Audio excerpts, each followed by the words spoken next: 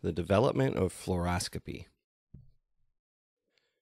One year after the discovery of X rays by Roentgen in 1896, Thomas Edison created the first fluoroscope. The real time or dynamic image could only be viewed by the radiologist by allowing their eyes to adjust to complete darkness, which would typically be done wearing red goggles for up to 30 minutes. The fluoroscopic exam would also be conducted in complete darkness. Edison's first design consisted of a light tight, handheld metal cone with a fluorescent screen placed on the opposite side of the patient from the X ray source. The screen would glow with the radiographic image when the X ray tube was energized and the remnant beam struck the screen.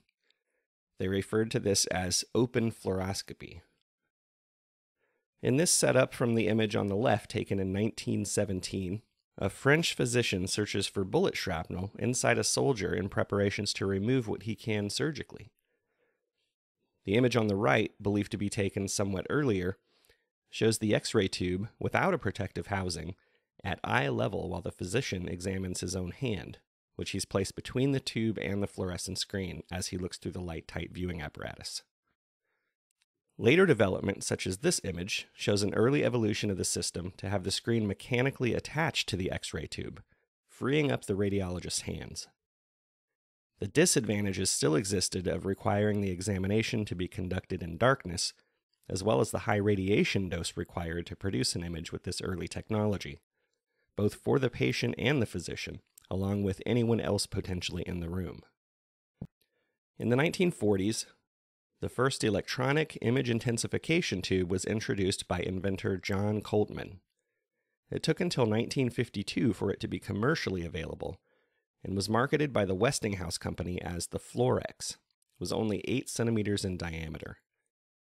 The model on the right is a similar model in appearance from the 1960s. Dr. Coltman was recognized for his many contributions to science, including receiving the Longstreth Medal of the Franklin Institute for his development of the X ray image amplifier and being named Pittsburgh's Man of the Year in Science by the Junior Chamber of Commerce.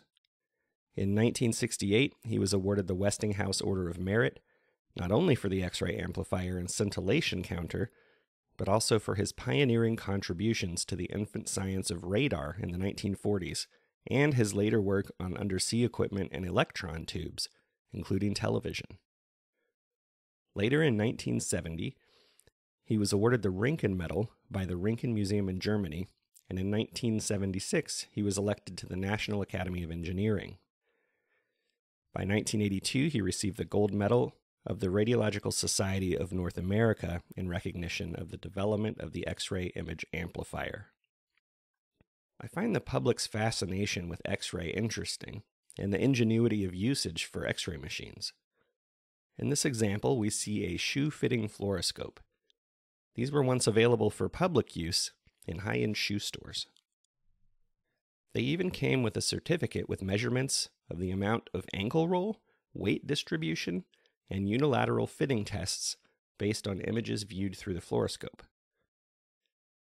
Note the advertising on this certificate. This scientific way of approaching the problem of poorly fitted shoes eliminates guesswork now you can see for yourself. Of course, the public began to see some long term effects of radiation dose on their feet after a period of usage. It's unfortunate, now knowing the significance of effects on children that radiation can have, that you see images like this showing the usage of a shoe fitting fluoroscope to fit a child for shoes, along with some radiation damage seen to the feet. Not to distract too much from the lesson, but I find it interesting that advertising agencies have utilized physicians to sell products, especially when it comes to products that have now been studied long enough to produce known carcinogenic effects. Take this dentist recommended cigarette advertisement from the 1960s, for example, or these, where a certain number of doctors were surveyed for advertising purposes. I think we've grown in scientific research, particularly with the FDA in the United States, in regards to testing done for publicly available materials, but something to be mindful of in the future for sure.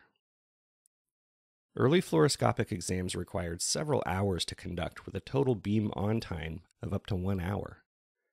While fluoroscopic live images take less radiation than static X ray to produce, Both had the ability to cause significant radiation injuries historically since the patient was required to be exposed to the live X ray beam for such long periods of time.